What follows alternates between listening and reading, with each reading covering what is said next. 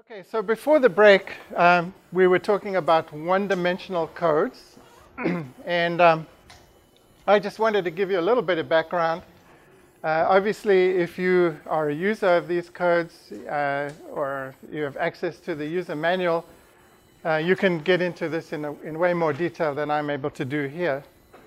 Uh, but basically, my point was that we discussed the equations that are solved uh, in those 1D codes and uh, I'm just uh, reviewing that for you here.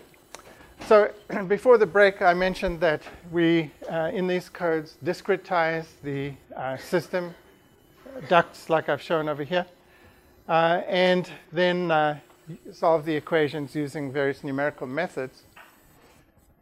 I mentioned that the speed of sound was an important parameter, and there is a solution technique called the method of characteristics that I like to mention because it basically helps you understand uh, one-dimensional fluid mechanics and in fact 3D fluid mechanics, all fluid mechanics. But basically, if you look at a plot of distance along a duct, all right, and the uh, points that you see here uh, might be the grid points in a, in a numerical simulation uh, as a function of time. So time is increasing this way. And here's a picture of my duct, just for your example. At this particular time, we may have a fluid particle moving at velocity v, located as I've shown by the little circle here. And at a later time, that particle has moved to this location. The slope of this line is the vel velocity of the particle, right? dx dt is the velocity of the particle. Now, the particle in the duct uh, is traveling because, for example, there's a pressure gradient across this duct saying to that particle, you should flow, right? In order to try to equalize the pressure. So how is that information communicated to the particle? Well, it's communicated through pressure waves which travel at the speed of sound. And in fact, any point in the, in the flow is continuously generating pressure waves and sending them out to the, the fluid everywhere in the domain. And I've just drawn two of those waves here. Waves uh, that are traveling in the right direction, called right running waves, that have a slope equal to the velocity of the fluid plus the sound speed. All right. And waves that are traveling in the left uh, orientation, here, the green ones, uh, left running waves that are traveling at the velocity of the fluid minus the sound speed. So when these waves arrive at a fluid particle, they basically inform the fluid particle about the uh, flow conditions ahead and behind that uh, particle position. So these are called characteristic lines. And if you think about discretizing the flow field into uh, a, a, distance delta x between node points, uh, this uh, leads to an understanding of why there's a time, time step constraint in a numerical method because information can only flow from uh, the adjoining grid cells uh, if you satisfy this constraint here. You cannot just arbitrarily take a giant time step because if you do that, you will not be getting information appropriately from within this region, delta x here. So basically, the uh, absolute magnitude of the velocity and the sound speed, uh, reciprocal of that times the, the uh, spatial uh, step size is what determines the time step. That's called the Courant-Friedrichs-Lewy condition uh, that is uh, essentially required either for stability or for accuracy in numerical methods. So I just thought I'd mention that. Now it turns out that you can go actually much further with the method of characteristics and Moody's book goes into this in great detail. Uh, because you can use that to actually solve the uh, equations that I showed before. Uh, these days in commercial codes, the method of characteristics is really only used at the boundaries of the domain, and the interior uses a finite volume approach, but it's still instructive to understand the method of characteristics. So imagine that here's my duct, and I've discretized the duct into steps delta x apart. Uh, and I know the solution at a certain time. So remember, this is time axis and this is space axis here. So I know the solution at points 1, 2, and 3. Well, if I look at these characteristic lines that are carrying information to the next time level, time n plus 1, I see that all those lines intersect at, I've called it point 4 here, uh, and, the, and carry with them information about the flow conditions at time level n. The equations, those mass, momentum, and energy equations, can be manipulated to show that certain quantities are constants or are changing along those uh, characteristic lines. In particular, along the right running characteristic line, changes in pressure are related to changes in velocity uh, times the acoustic impedance, rho times c, the density times the sound speed, and a source term. And similarly, along this left running characteristic, I have a very similar equation, but with a minus sign and another source term. And then along the particle path, this is the line that has slope equal to the velocity of the particle, I have another characteristic equation that relates pressure and density changes. Okay, so if I have these three equations, I can discretize them. And in particular, I can interpolate between known solution values at points 1 and 2 to find the values of the variables at uh, the right running origin wave origin and the particle path origin and similarly between 2 and 3 for the left running particle origin, and essentially create three equations for three unknowns, the velocity, the pressure, and the density at state 4. So that's how I solve my system of equations. Now these source terms, f, g, and h here, are functions of the heat release, the friction, the uh, area change, and so on. Um, and it turns out that these terms are zero if you have an isentropic flow. In other words, a flow without heat addition, a flow without friction. And in fact, you can see from Gibbs's equation that the change in entropy is basically dp over c squared times d rho. You can see that from up here. So h is 0 uh, if you have ds equals 0. So the isentropic flow limit is a very interesting uh, special case of the method of characteristics. Because in that case, you can show that along characteristic lines, dp over the acoustic impedance, rho c, plus the change in velocity, uh, is equal to zero. Uh, this is called the uh, Riemann invariant. Uh, if you integrate this equation, you can show basically that 2 over the ratio of specific heats minus 1, 2 over gamma minus 1, times the sound speed, plus or minus the velocity, is a constant along these characteristic lines. Um, notice that the Mach number, the velocity divided by the speed of sound, uh, comes into these uh, equations very prominently. And in particular, if the Mach number is greater than 1, the slope of this left running characteristic line here is no longer negative, but becomes positive. And what that tells you is that information cannot propagate from uh, uh, upstream. So these are the equations that we uh, use in that isentropic limit. And just to give you an example of how you might use these equations, let's say I have a duct and maybe there's a valve here and a combustion chamber. And I open that valve and the pressure ratio between the combustion chamber and the, the stagnant flow in my, in my pipe is 1.25. So that uh, pressure difference sets a wave in motion, which propagates down the tube to tell the environment here that you better be prepared. There's flow going to be coming because we have a pressure difference between the combustion chamber and the environment. So here's my uh, XT diagram. Here's my wave propagating down the tube. And it separates regions 1, which is the quiescent fluid in the pipe, from region 2, fluid that's been put into motion because its pressure is higher than the pressure in region 1 by 1.25. Uh, we're given the properties of the uh, undisturbed fluid, the temperature, and the pressure. And the question is, can you find the speed of the gas that's going to be leaving the combustion chamber, uh, your exhaust gas mass flow? Okay, well, we can do that using the method of characteristics because we have a left running characteristic line that connects regions 1 and 2 and along that characteristic line, the Riemann invariant that I described on the previous slide is a constant. So properties in region 1 can be related to properties in region 2. All right, so I need to know the sound speed in regions 1 and 2. Well, in region 1, I can calculate the sound speed using gamma RT, right? It's the speed of sound, the ratio of specific heat, gas constant, and temperature. It's 448 meters per second. I know the pressure ratio, and I've assumed isentropic flow, so I can get the sound speed in region 2.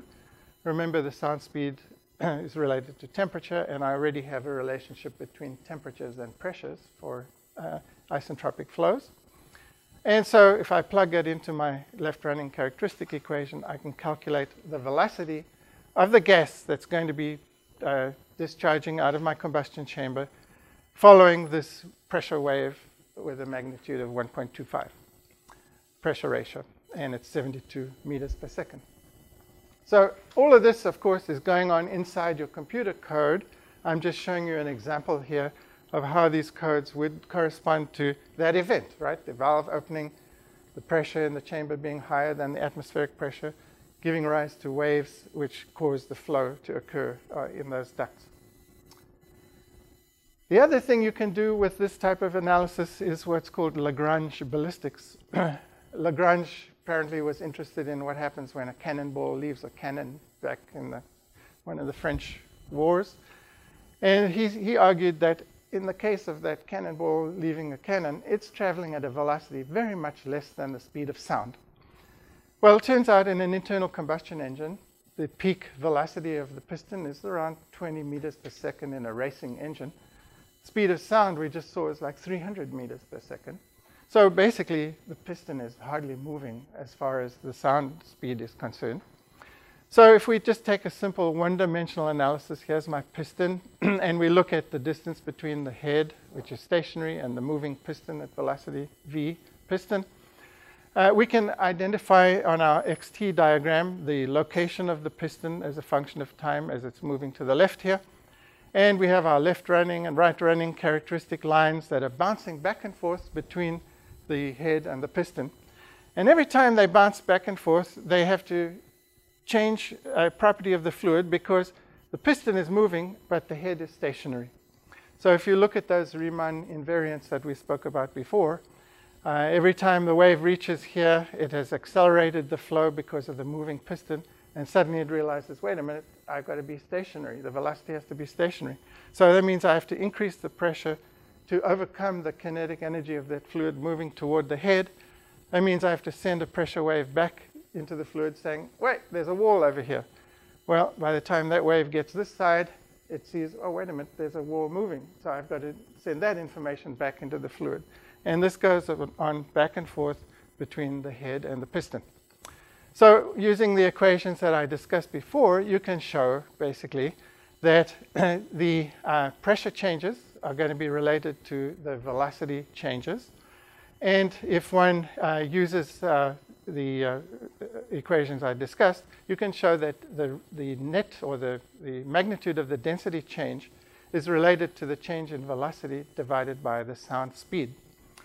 If the change in velocity, in other words, the difference between the piston velocity and the head here, is very small uh, compared to the sound speed, d rho, or changes in density, are very small. So you can use that fact to uh, simplify the equations considerably. So the density at any position in the combustion chamber as a function of time is only a function of time because we've just said that changes in density are very small spatially. So we can go to the mass conservation equation and get rid of spatial changes in density and solve this equation for the velocity profile. And what you find is that the velocity of the fluid in the combustion chamber is a linear function of distance from the piston. So basically the gas has a velocity profile that's linear. The gas is just stretching or compressing like an accordion. Um, and if you use that result in the momentum conservation equation, you find that the pressure changes in the combustion chamber are also very small. They depend on the acceleration, the x double dot being the second derivative of the piston position with time. Uh, so they depend on the piston acceleration. And if the piston acceleration is small, the pressure is also uniform everywhere in the combustion chamber. And so if you're an experimentalist, you can put your pressure transducer any place you like in the combustion chamber, and you measure a pressure, and as long as you're not having knocking phenomena or detonation waves or anything that are approaching the speed of sound, that pressure measurement will represent what's happening in the combustion chamber. And that is exploited.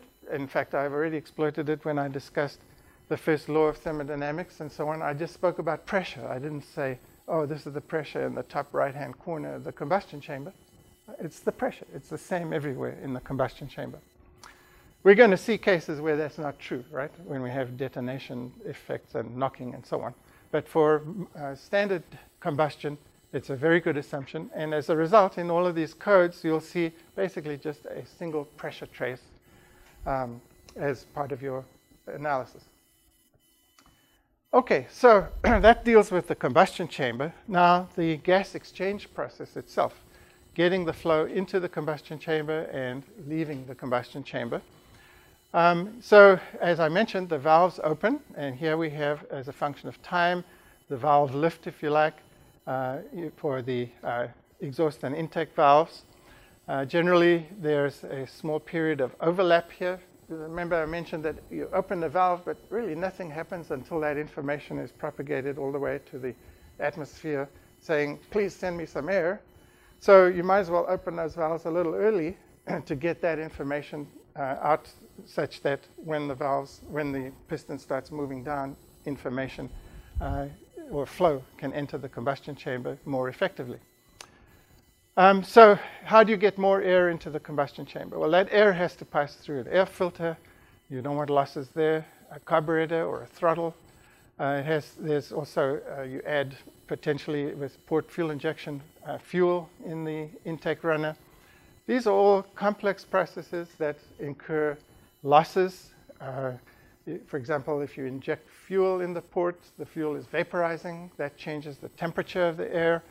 So it's quite a compli complicated process. And typically, 3D modeling is needed to really understand how those flows are established in the ports, how they separate when you go around corners, and eventually how they impact the nature of the flow inside the combustion chamber itself because this flow in the combustion chamber is what's very important for mixing the fuel and the air and for generating turbulence, which helps with flame propagation, for example, in a spark ignition engine. All right, well, how else can you get more air in the chamber? You can use supercharging, which means maybe a, a, a compressor established that is, uh, forces more air into the chamber. Um, and we'll be talking uh, next about turbocharging and so on. But this all is under the category of engine breathing, all right? You want to get as much air into the combustion chamber as possible uh, so that you can burn as much fuel as possible to generate power. All right, so the complicated flows, we've got separating flows, flows going around corners. These are all effects that are multidimensional, right? And to model that in a one-dimensional flow is quite uh, tricky. What is done in typical codes is to use empirical correlations. So you saw that friction factor that I mentioned before. You can use that friction factor to essentially represent the flow losses that might occur in a diverging duct or flow recirculations, uh, separations, um, and essentially create a table of uh, coefficients that correspond to the dimensions of your one-dimensional duct system. So for instance, in the Ricardo wave code, here's a sec section of duct with a certain inlet diameter, a certain exit diameter, a certain radius of curvature. Uh, and by using uh, correlations that are developed and have been uh, the result of measurements and so on, uh, a certain friction factor, CP here, that relates the pressure difference across this duct uh, to the velocity uh, or kinetic energy of the flow uh, is imposed, and that allows you to model uh, realistic geometries without having to do the full three-dimensional, multi-dimensional uh, simulation.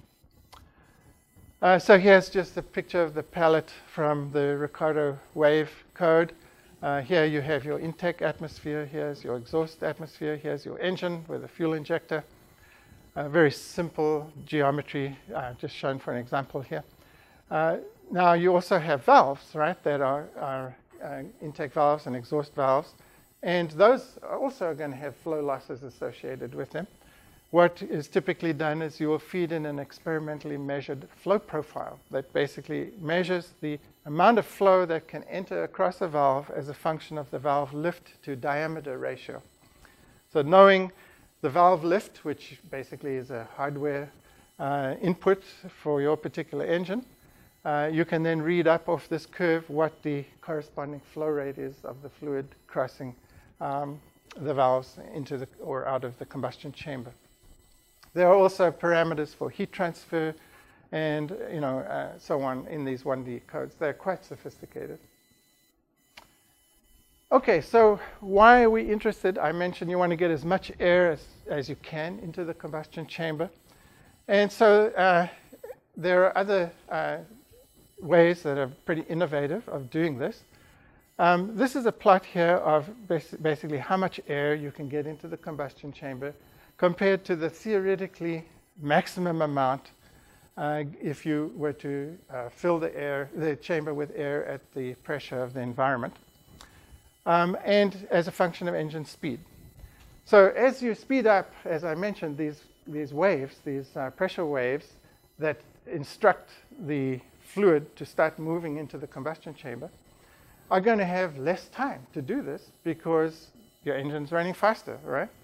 So one way of dealing with this is to change the length of the passages uh, that communicate between the environment and the engine. And so, for instance, Mercedes, uh, about 10 years ago, introduced an engine that had a three-stage resonant intake system where at low speeds you would use curve one here, which is basically uh, a curve of volumetric efficiency versus engine speed. Um, and in this case, you would choose a short path by, with two butterfly valves here. You can control the length of the path. You choose a short path so that um, you could uh, uh, maintain good wave action and resonance. Uh, whereas at high speed here, uh, I beg your pardon, I had the other way around. At high speed, you want a short path. At low speed, you want a longer path. And by doing this, you can keep the net or the uh, volumetric efficiency as, as high as possible over the whole engine operating range from, you know, in this case, 1500 to 4500 RPM. So there are ways that one can do this. And uh, those of you who have ever been involved in uh, Formula car projects and so on are probably pretty familiar with engine tuning. This is a really interesting plot out of Heywood's book uh, where he discusses volumetric efficiency, um, where he says, okay, we want 100% volumetric efficiency. In reality, there are going to be losses in the system, which he calls quasi-static effects, uh, that might have to do with your air cleaner or, or things that are, are uh, outside of the discussion here. But let's say that that was where we start. Now, let's look at the contribution to the actual engine volumetric efficiency curve, which is this curve labeled G here. You saw a picture of that on the previous slide. Well, the first, uh, and this is engine speed down here. First thing that he looks at is the effect of charge heating. So you've got hot uh, intake ducts, all right, from the uh, coolant that's uh, at a fairly high temperature. What does that do? The heat transferred to the intake flow gases reduces the density of the fluid, which means that you get less air into the combustion chamber. So basically, there's a hit on volumetric efficiency just due to heating of the intake flow. It's going to be bigger at low speed because there's more time for that heat transfer, all right? high speed, that effect is minimal or minimized. Next thing is flow friction. Okay, we saw that term F in the equations, right? Uh, the faster the flow moves, the steeper the velocity gradients at the walls, uh, and maybe even flow separation effects. And this is, of course, going to uh, impede the amount of airflow into the engine. Um, and so uh, flow friction, of course, increases with speed. That brings you to curve C here. Um, yeah, C. Um, so the next effect is choking. so we, remember we mentioned that the speed of sound uh, plays a role. If there are places in the, in the intake system where the flow velocity reaches the sonic velocity point, uh, you cannot send any more flow into the system because basically the system is unaware that more flow is needed if at some point the speed of the fluid is already at the sound speed. So that's what happens with choking.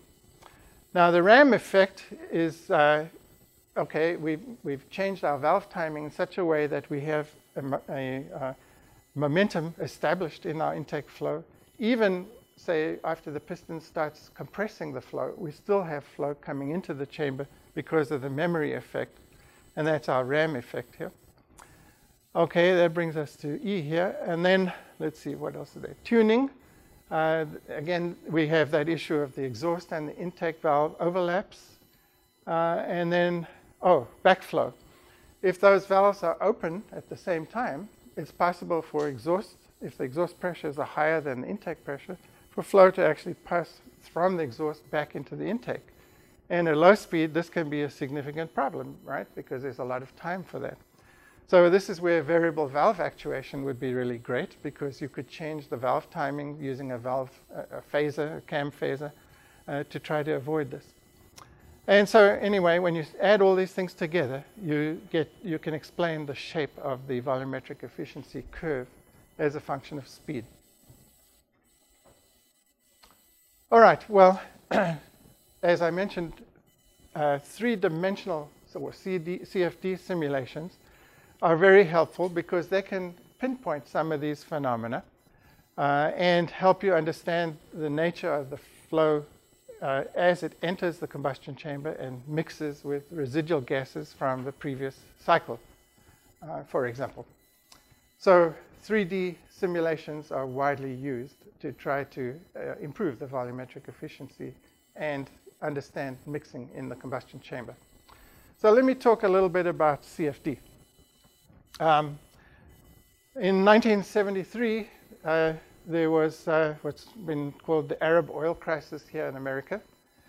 Uh, and uh, the United States Department of Energy decided that something needed to be done.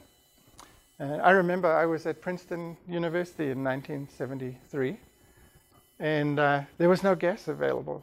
we had to drive to the New Jersey Turnpike to get a ration of gas. We, they would give us five gallons. Uh, and then we have to drive back here, use up, you know, half a gallon or whatever. um, so this was a very serious uh, event in the United States history. Long lines of people at gas stations all fighting it with each other. So what the government did was they formed the Department of Energy and they went to the government labs, the Los Alamos National Labs that were working on weapons codes, and they said, why don't you use this fantastic technology to help the automotive industry? So basically they started a program that was very successful that led to the development of computer codes, uh, a whole bunch of them, that eventually became the Kiva codes uh, from Los Alamos National Labs. Um, and uh, these are all open source codes that are available through government websites uh, and are widely used uh, by people, universities, and so on for CFD codes, CFD simulation of engines. Uh, along with the open source codes, there were commercial codes developed, uh, notably at the Imperial College, um, the STAR codes, and then other commercial codes, uh, AVL's code, Ricardo's code, also uh, Fluent, and then more recently Converge, Forte, and a bunch of other codes. So these are commercial codes that are also becoming widely used uh, in the industry. There are annual user group meetings uh, that are, uh, a lot of them associated with the Society of Automotive Engineers uh, Congress and so on. If you're interested, um, you can certainly find out more about those looking uh, at the various meetings. Okay, so what do these 3D codes do? Well, I mentioned the 1D code, the equations. Well, the equations are the same, right? We have mass conservation, momentum conservation, and energy conservation. Uh, and in addition here, I'm showing species conservation because when we're dealing with combustion, we have to worry about how the fuel and the air, let's think of them just as two species, uh, mix. and combust. In addition, we have sprays, all right, in direct injected engines. So in the mass conservation equation, the differential equation that we discussed before, we have a term here involving a source of mass due to a spray or spray droplets vaporizing uh, in your computational domain. Similarly, we have diffusion of species. We have combustion source terms as I convert my fuel to products. And we have spray terms, uh, as I mentioned. Uh, momentum conservation, we have source terms due to the spray. The superscript S always means spray here because the droplets that you inject into a combustion chamber transfer their momentum to the gas, right? And that's a source term for the momentum. And similarly, we have from the energy equation, we've already seen we have heat release due to combustion. We actually have a sink here due to vaporization of the droplets in a spray, and so on. So basically, in a 3D CFD code, we're solving these equations on a numerical mesh like you see in these pictures here. That accounts for moving valves, moving piston, and a lot of the complexity is because of the motion of these valves and also the, trying to keep high fidelity in the geometry of the combustion space. Uh, and so uh, a lot of work has been done uh, uh originally, as I say, by the Los Alamos group and now uh, introduced into commercial codes.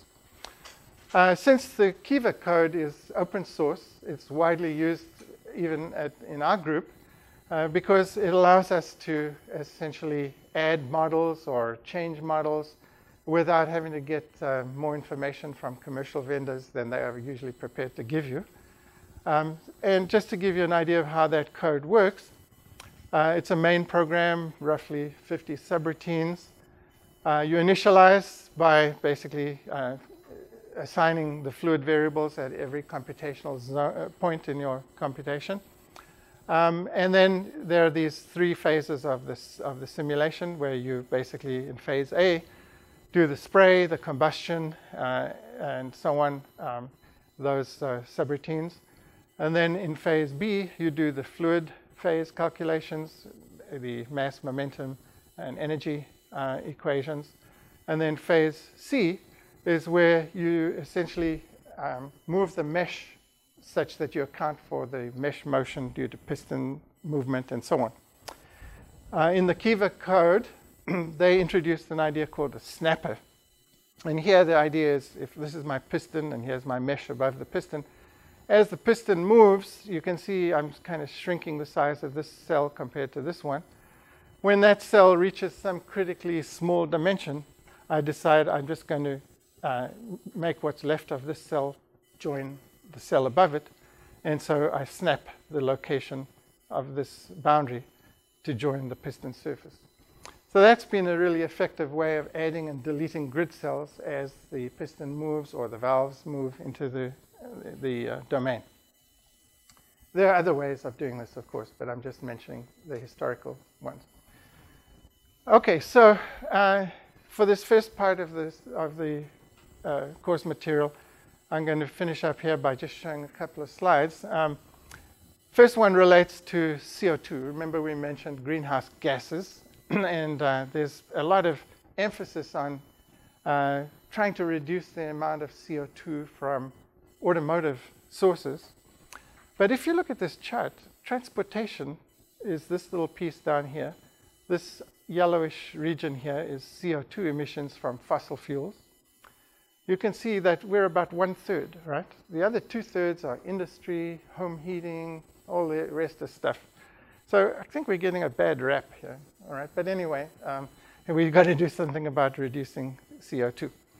This stuff here is uh, forestry, I believe, uh, and land use. So there's quite a bit of CO2 emissions from that. Um, what else is there? Methane.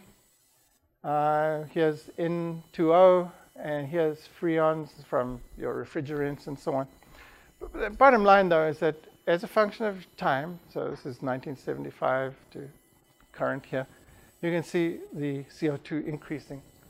And remember that 1.7 parts per million I mentioned that we are pumping into the air from combustion sources or vehicle combustion and so on. Uh, this number turns out to be around 2 ppm, so that's a fairly good estimate. So every year we increase the amount of, of uh, greenhouse gas by about a couple of parts per million. And this is a concern. Okay, so transportation is about one third of the total energy use in the United States. Uh, internal engine, internal combustion engines are among the most efficient power plants on, on the planet, right? But research is needed to improve them, and that's what we're going to be focusing on.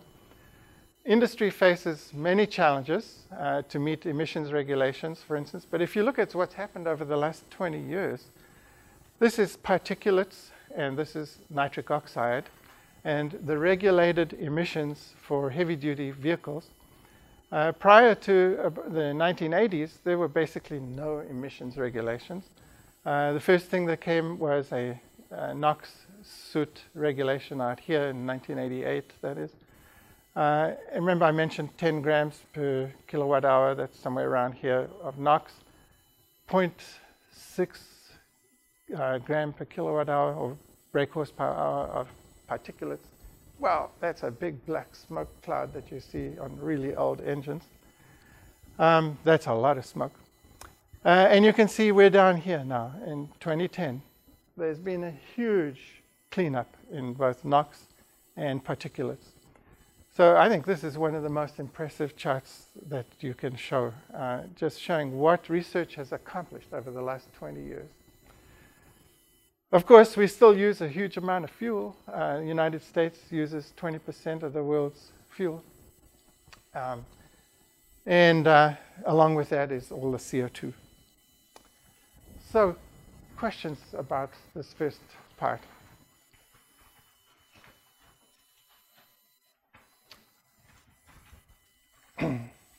okay, so what I will do next is move to section two, and we'll just start that before the uh, next break.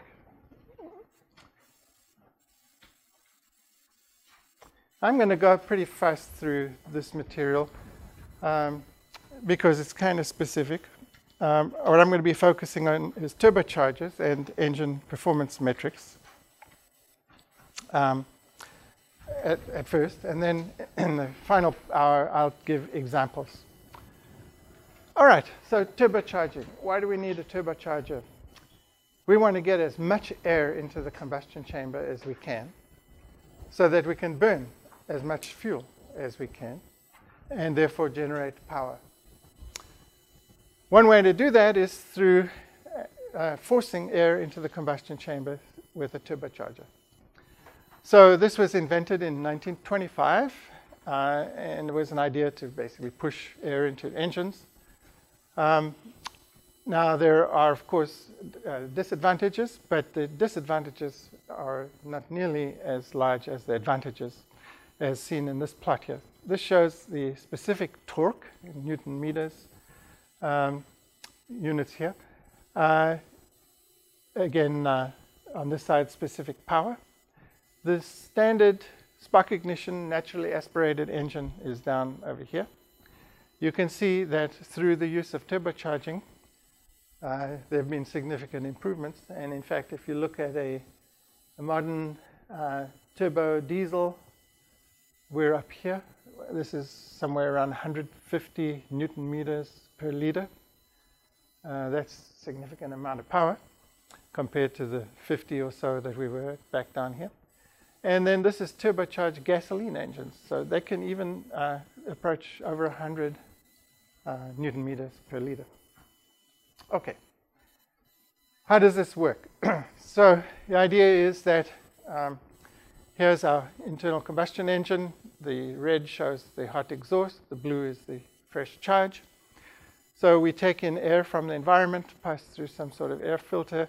We can have a supercharger, which is basically mechanically connected to the engine through some belt over here which sort of starts the process of uh, uh, inducting air. Here's our air passing through a compressor and then into the, through a cooler into the engine. Now, the compressor is driven by, in this case, a turbine. So we have these high pressure gases exiting the combustion chamber, Some of them we can bypass the turbine through a waste gate. The rest we pass through the turbine and then exhaust through our after treatment system. So that's pretty much a, uh, this is in a VW turbocharged uh, engine, uh, pretty much state of the art uh, system.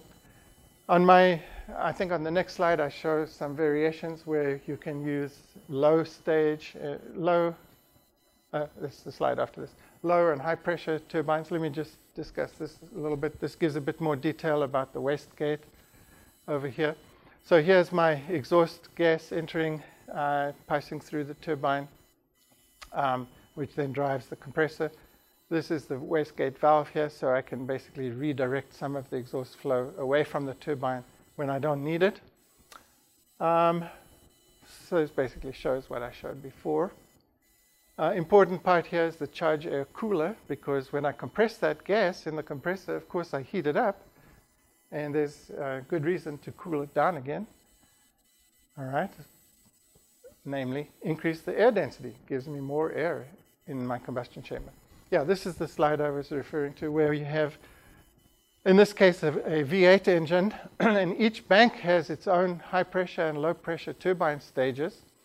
Uh, the high pressure being a fast reacting turbine, um, and the low pressure being a, a slower reacting turbine, uh, and essentially compressing intake charge, driving up the pressures, the boost pressures, um, and getting more air into the combustion chamber. Um, this layout that you see here is shown here on a pallet, in this case with GT Power uh, commercial code, uh, where you have the low and high pressure turbines represented, uh, plus the connecting ducts and so on. So this is standard practice for uh, people in the industry uh, who are designing the engine system and laying out the, uh, the duct work, making sure it can fit in the space constraints and so on. Okay, so we talked about boosting. Why do you want to do this? So this is a kind of interesting uh, plot here. Here's my intake flow passing through a compressor. Here's my intercooler.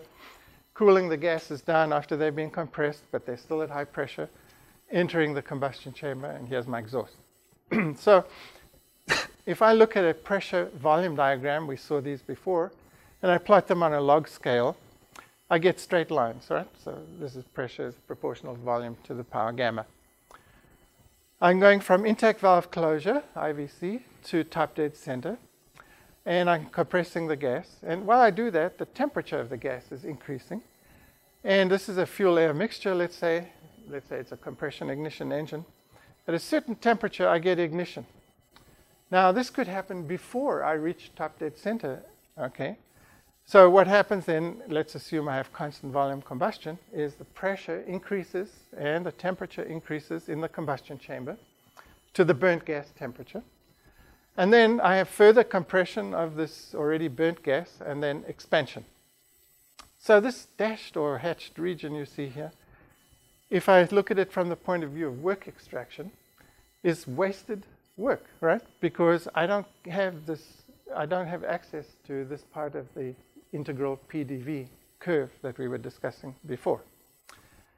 So I, what I'd like to do is basically try to make this ignition point move to top dead center so I can regain this uh, wasted area on my integral PDV curve.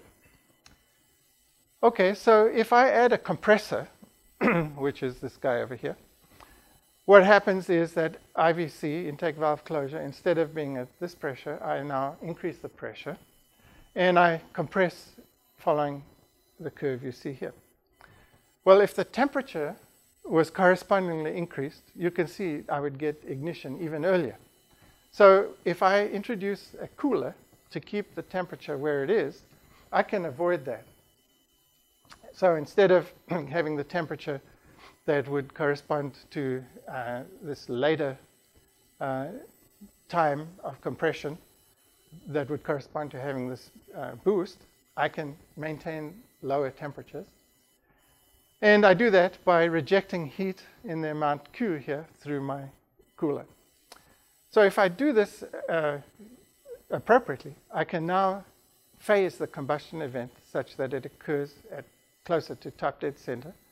And I can obtain more area under the curve by both removing this cross-hatched region and expanding the size of this uh, area in pressure volume space. Also, by lowering the peak temperatures, I lower NOx. So I get a double whammy there. And this boost really explains about 20% of the improved efficiency of diesels over uh, conventional naturally aspirated spark ignition engines. So boost is a, an important component. That's why we need turbochargers. All right, so let's look at some of the specifics of the compressor. uh, essentially, centrifugal compressors are typically used in automotive applications. These are radial devices as opposed to axial compressors that you'd see in turbine arrangements, uh, in uh, gas turbine arrangements. Uh, they have a high mass flow rate, relatively low pressure ratios, pressure ratios around three or four. They rotate at very high angular speeds, 100,000 RPM, and are coupled with the exhaust-driven turbine. Uh, they consist of the inlet casing, the impeller, and a diffuser, which we'll discuss in a second. So in order to understand the performance of these devices, one has to go back and take a look at your compressible flow theory. Um, this is again from Anderson's book here. I've already discussed some of these equations with you, but I'll just review them very quickly. Turns out that compressors and turbines can be very accurately represented as flows in ducts with, with varying cross-sectional area, compressible flows. All right, we start with Gibbs's equation, which I showed you before, that allows you to calculate entropy. And if I assume that I have an isentropic device, which is again a reasonable assumption, as we'll see, I can relate enthalpy to pressure changes. If I go to my energy equation, I get an equation that relates enthalpy to velocity changes. And by combining these two, I can derive what's known as Euler's equation, which says that pressure changes are related to velocity changes times rho times v. So just to remind you, those of you who've taken undergraduate fluid mechanics classes will say, oh, I can integrate this equation and get Bernoulli's equation. Wrong. The reason is that the density is changing, right? So this is a compressible flow. You cannot integrate this equation directly. All right, so you need to figure out how to combine the density and the velocity. And so here you go to your mass conservation result that basically relates density changes, velocity changes to area changes if you have flow in a duct with cross-sectional area variation. Combine these and you can derive these two equations area velocity relation and area pressure relation. And you'll notice this quantity m here is the Mach number, the velocity divided by the speed of sound. So really interesting things happen here. If you look at a subsonic flow in a converging duct, all right, m is less than 1, subsonic, right? The, the flow velocity is less than the sound speed. So this is negative. And that means that when the duct area is reducing, the velocity is increasing, just like you would expect, okay? Similarly, if you look at it this way, this guy is uh, uh, less than 1, the pressure is increasing.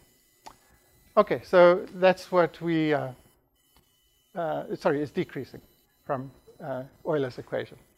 So that's what we expect. Now, if you have a diverging duct, and it's, again, subsonic flow, you can show that the velocity decreases and the pressure increases. So you have pressure recovery. On the other hand, if you have supersonic flow, where the Mach number is greater than 1, these things change around in an unexpected way. Namely, as you converge or you have a converging flow, uh, you find that the um, velocity decreases, okay, and the pressure increases. And similarly, with an expanding flow, the velocity increases and the pressure decreases. So the way to remember this is to remember what happens to you when you're driving down the highway in your car. And you've got two lanes of traffic here, and suddenly it goes down to one lane of traffic. What happens? If you were in a subsonic world, you'd speed up and you'd go through and there'd be no problem. but unfortunately, you're in a supersonic world because you don't know what's happening a few cars ahead. You can't see them. Information is not coming back to you, just like it is in the case of a supersonic flow. You're traveling faster than the speed of sound, which is sending information back to you in a fluid flow, or here, the guy in front of you is blocking your vision, so you can't see what's happening. So you slow down in this situation here, in the supersonic flow. On the other side, now you can speed up your heart's content, right? So there's a big difference between knowing what's going on ahead of you and not knowing what's going on ahead of you, and that shows up in these equations. Okay, so if we model a compressor or turbine arrangement as flow in a converging diverging nozzle, we can use those results. Basically, from the mass flow rate is rho times the density times the area times the velocity, we can determine uh, by replacing velocity by Mach number, sound speed by temperatures, we can determine a relationship that involves the pressure in the reservoir supplying the flow to the conditions at the exit of our uh, converging diverging nozzle. Uh, and in particular, we can find the mass flow rate, which is going to be restricted by the choked flow point where you have the minimum area in the duct. At that point, the Mach number must equal 1, right? The flow velocity is equal to the sound speed.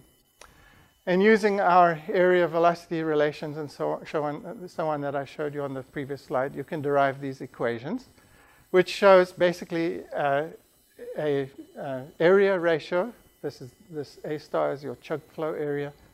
A is the local area. And you see the shape of the curve is similar to the shape of the nozzle, so it's easy to remember. You have a, a reservoir at this side. The flow accelerates up to the choke flow point. Uh, and then on the uh, supersonic side, the flow accelerates. Uh, and uh, you can see uh, also that would be in terms of Mach number. Because of the pressure change here, you can see you go from the reservoir pressure to a pressure that's, uh, you can determine that from our uh, equation here. If you plug in m equals 1, it's 0.528 times the reservoir pressure. That would be the, the pressure at the choke flow point all the way down to pressure of zero, where the Mach number is infinity if you had an infinitely large diffuser. Okay, Fliegner's formula is a very important formula because it allows you to relate the maximum flow rate you can get through this nozzle to the pressure in the reservoir and the minimum area, the throat area. So Fliegner's formula uh, essentially, uh, and also the temperature of the, of the reservoir gas. Fliegner's formula essentially allows you to say, this is the most uh, mass that I can pass through a nozzle of a given geometry. And that's used, uh, as we'll see in the design of compressors and turbines. To give just a little bit more uh, incentive to the use of these uh, flow analogies, here's my reservoir, here's my ambient, and I have in this case a converging nozzle. As I reduce the back pressure, so the reservoir, I'm showing you pressure over the reservoir pressure here as a function of distance down the nozzle. As I reduce the back pressure, flow is instituted, right? And uh, how, do, how does the reservoir know that the pressure here has been reduced? Sound waves propagate back, saying, please send me more, more uh, flow. Um, eh, because I want the pressure to be equal to the ambient pressure at the exit. So you can see the pressure has to drop from the reservoir pressure to the back pressure. I can keep doing this until I reach the point where the flow at the exit of my nozzle is sonic. In other words, the Mach number is 1. If I now reduce the back pressure further, nothing else changes because information cannot propagate back to the reservoir because I'm already at sonic speeds in the flow at the exit of the nozzle.